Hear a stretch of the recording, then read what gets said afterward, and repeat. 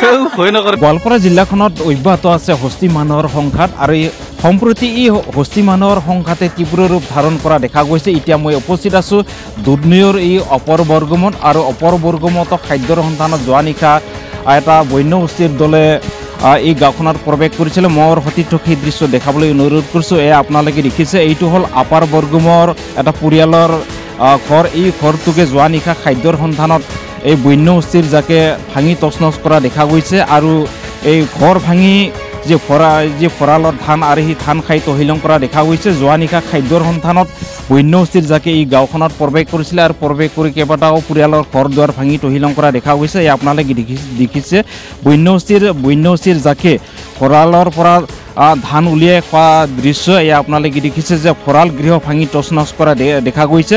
নিশা এই নিশা ঘৰটোতে তেওঁলোকে শুই আছিলে আৰু কোনোমতে বন্য অহাৰ খবৰ পাই তেওঁলোকে ঘৰৰ পৰা ওলাই গৈ দৌৰিহে নিজৰ প্ৰাণ ৰক্ষা কৰিবৰ কাৰণে সক্ষম হৈছে। এয়া আপোনালোকে দেখি দেখিছে যে নাৰিকলৰ গছ পৰ্যন্ত ভাঙি তছনছ কৰা দেখা গৈছে।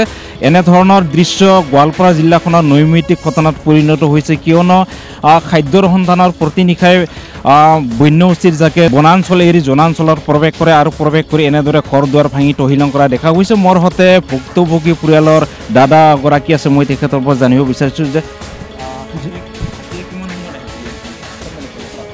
হয় মানে ৰাতিপুৱাৰ এইখিনি চাৰিটা বাজিছে তেতিয়া ঠিক। সেই চাৰিটা বজাতে হাতীটো তেনেকৈ কেইটা আমি তেনেকৈ কুবলি পৰি আছে জাক আহিছে কিমান আহিছে কিমান আমি ইমান আমি নিজৰ জীৱনৰ প্ৰাণটোহে আমি চাইছোঁ। হৈ আছিলোঁ অকণ অকণ ঘৰৰ মানুহকেইটা আদৰি কেনে আমি গুচি গ'লোঁ। দৌৰি গৈছে আমাৰ ঘৈণীয়েকে অলপমান দুখ পাইছে। আপোনালোকক মোৰ খুটি এতিয়া ধান। ঘৰ ভাঙিছে গোটেই লংগ লংগ কৰিছে আৰু ওপৰত মোৰ ধান যিখিনি মই বছৰৰ খেতি কৰোঁ সেই বছৰৰ খেতিখিনি আমি খাম বুলি সাজিৰি থোৱা সেইখিনি ধানখিনি গোটাই খাই কিনে পেলাই থৈ কিনে অনিষ্ট কৰিছে আৰু ঘৰ দুৱাৰটো এতিয়া টিং চিং গোটাই ভাঙা চিঙা কৰিছে। তাৰ বাবে মই অনুৰোধ কৰিছোঁ ৰাইজৰ তৰফৰ পৰা বা মই ঘৰৰ তৰফৰ পৰা আহ্বান কৰিছে যে ৰাইজে হেৰি চৰকাৰে যেন সোনকালে মোৰ এই ক্ষতিপূৰণখিনি যেন সোনকালে ব্যৱস্থা লয় তাৰ বাবে মই অনুৰোধ জনাইছোঁ।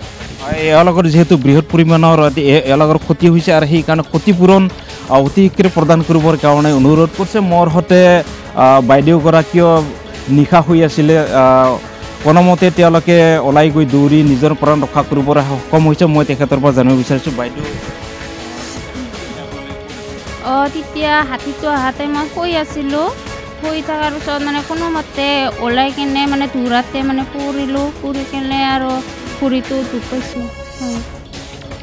হয়। হয় এনেদৰে যিহেতু নিশা এওঁলোকে ঘৰত শুই আছিলে আৰু সেই সময়তে যিহেতু বন্য গোষ্ঠীৰ জাকটোৱে প্ৰৱেশ কৰিছিল আৰু প্ৰৱেশ কৰিয়ে ঘৰ দুৱাৰ ভাঙি যিহেতু তহিলং কৰিছে আৰু সেই সময়তে এওঁলোকে ঘৰ ভাঙি থকা অৱস্থাত এওঁলোকে ঘৰৰ পৰা ওলাই গৈ দৌৰি গৈ নিজৰ প্ৰাণ ৰক্ষা কৰিবৰ স- সক্ষম হৈছে আৰু দৌৰাৰ সময়তে ভৰিত আহ, আঘাতপ্ৰাপ্ত হোৱা বুলি আমাক জানিবলৈ দিছে। হয়।